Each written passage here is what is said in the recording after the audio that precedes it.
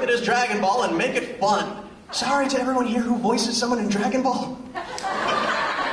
Ladies and gentlemen, it's Team Four Star. Thank you. Hello, Youmacon 2010. All right, we are Team Four Star. I'm Lanipator. I'm Takahata 101. I'm Kaiser Neko. Uh, I'm Gan Xingba. I'm Masako X. And I'm a Gummy 33. I'm Manfish. There we go. All right, yeah, it- we uh, we came to Youmacon for the first time last year. It was the first time we were all together. And well, um, Daka, you you had something on this one. Good. Well, I, we didn't have a plan before this. I thought we were just waiting on stage. Oh, crap. Oh man, that's not good. Okay. Uh, yeah, we last year, last Youmacon was the first time we ever met in person. And we have to thank Youmacon for that. If it wasn't for that, we never would have probably met for a long time. And now, thanks to the generosity of Youmacon, we were able to come back with even more people.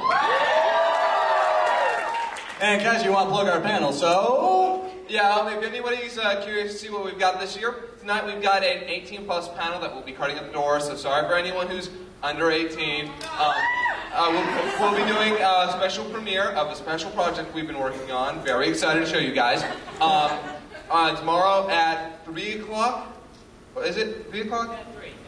Three. Uh, we have our FAQ panel, our regular daytime panel, where we'll be premiering episode 19 with the Ginyu Force. So excited, so excited. Um, and uh, on Sunday we have our autograph session at 12.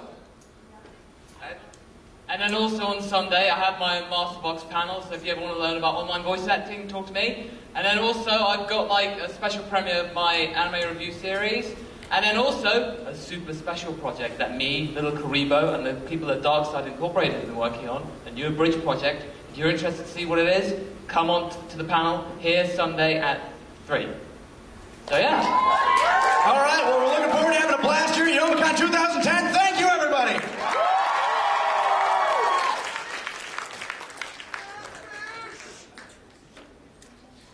Thank you, Team Four Star. He was the one dressed as the doctor who just came from London. See, someone screwed me up backstage.